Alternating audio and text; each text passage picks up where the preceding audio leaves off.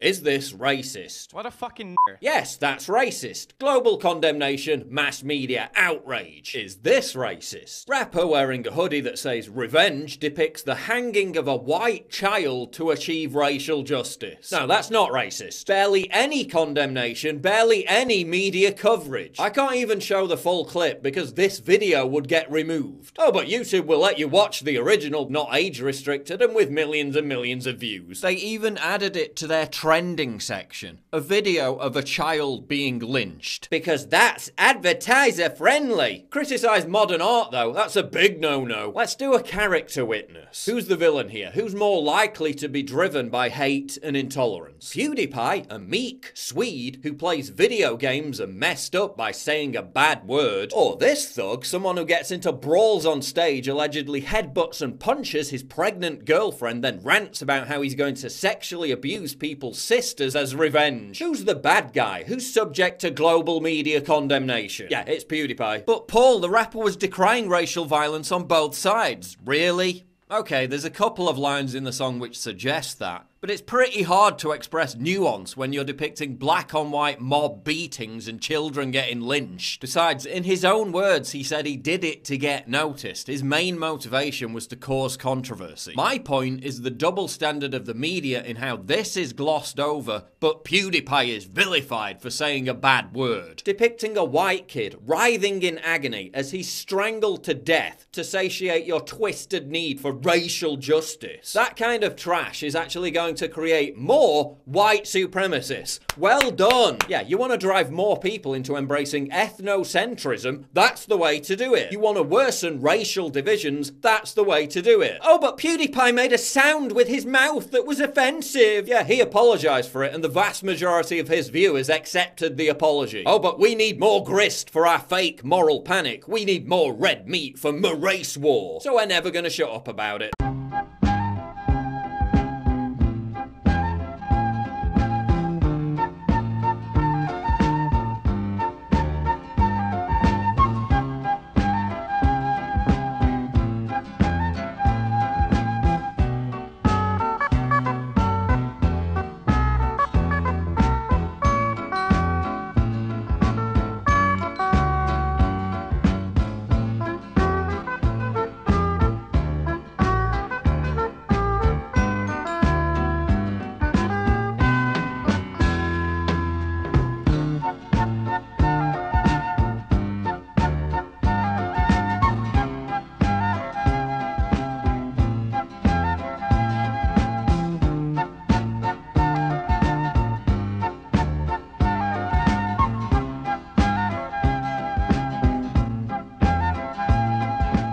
Young Turks celebrating the dying out of white Christians. Is that racist? No, but the ACLU posted a photo of a white baby. That's racist. A top musician creating a taxpayer funded spoken word performance in which he describes white people as inbred spawn soon to die out. You are dead. Dead, random white dude. Is that racist? No, but your kid might be part of a hate group if they listen to heavy metal music, saying all white people are racist, thereby collectively demonizing an entire group based on their skin colour. Is that racist? No, but Macklemore's haircut from a year ago, a hairstyle literally favoured by the majority of men in the Western world between the ages of 18 and 40, that's racist. Oh, and Eric Trump's haircut too. That's racist. CNN published an article basically saying that all Trump supporters, 63 million Americans, including nearly 4 million black people, were white supremacists by default. And that's not racist. White marble, on the other hand, mm, that's racist. You know what else the left thinks is racist? White marble. Here's what University of Iowa professor Sarah Bond wrote about the classical art world. The equation of white marble with beauty is not an inherent truth of the universe.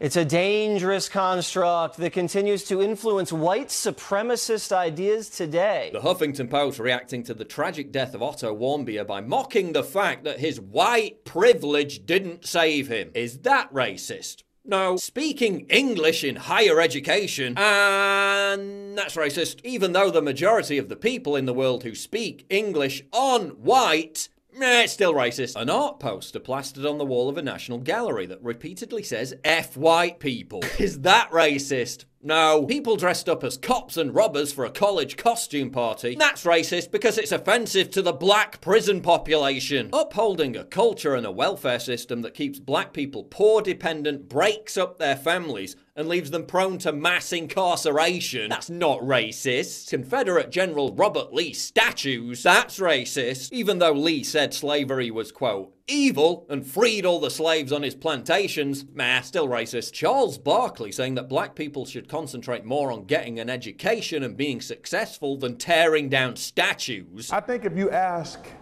most black people, to be honest, they ain't thought a day in their life about those stupid statues. What we as black people need to do, we need to worry about getting our education. We need to stop killing each other.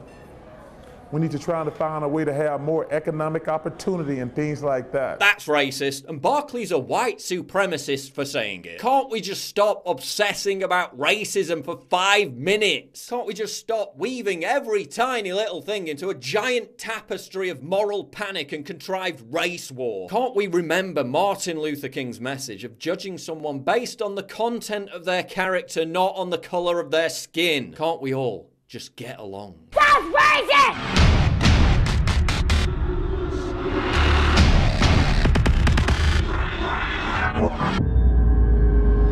Please click the big red button to subscribe. It really helps me when you do that. And click the bell to allow notifications so you never miss a new video.